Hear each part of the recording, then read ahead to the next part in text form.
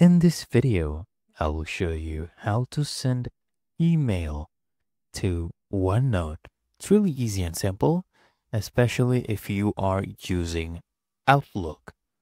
So there's multiple ways. One way is you just click on whichever email you want to go ahead and send. Let's say it's this one. I go ahead and click on this one. And then you'll see here at the top panel of options, okay, you'll see OneNote. You just want to go ahead and click on this to send the selected message to OneNote for the same email you are logged in on on OneNote, okay?